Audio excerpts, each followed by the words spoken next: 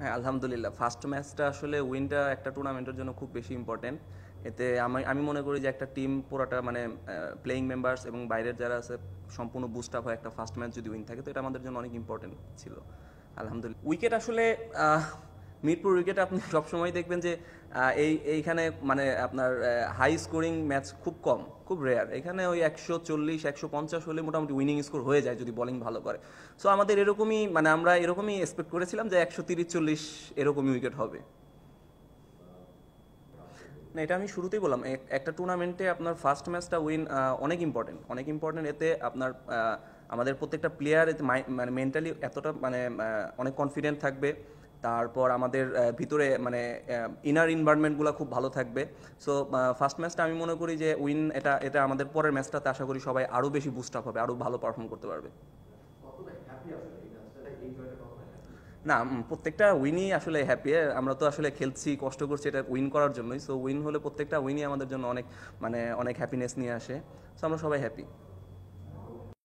আমাদের দলের আমাদের দলের স্ট্রং জোন আমাদের বিশ্বসেরা অলরাউন্ডার সাকিব আছে সব থেকে বড় স্ট্রং পয়েন্ট আমাদের ব্রাভো আছে যে কিনা অনেক এক্সপিরিয়েন্স তারপর আমাদের যারা ইয়াং প্লেয়ার আছে, প্রত্যেকেই পারফর্মার আপনি দেখবেন আমাদের টিমের ম্যাক্সিমাম সবাই এই বছর অনেক পারফর্ম করেছে। তারপর আমাদের ক্রিস গেইল আসবে। দেন আমাদের মুজিব আশা করি আসবে তাড়াতাড়ি। সো আমাদের বলিং সাইড ব্যাটিং সাইড দুইটাই স্ট্রং স্ট্রং জন মানে আলাদা করে বলার আসলেই নেই। আমাদের স্ট্র্যাটেজি ছিল যেহেতু ওরা একশো পঁচিশ করেছে একশো ছাব্বিশ টার্গেট ছিল। তো আমরা যদি অ্যাকর্ডিং টু বল খেলতে পারি আমরা যদি সিঙ্গেলটা কন্টিনিউ করতে পারি তাহলে আমাদের ম্যাচ আমরা বের করে নিয়ে যেতে পারব। এটাই ছিল। হ্যাঁ জি জি। জি জি জি জি জি আমাদের টার্গেট ছিল সিঙ্গেল সিঙ্গেল সিঙ্গেলটা চালু রাখা।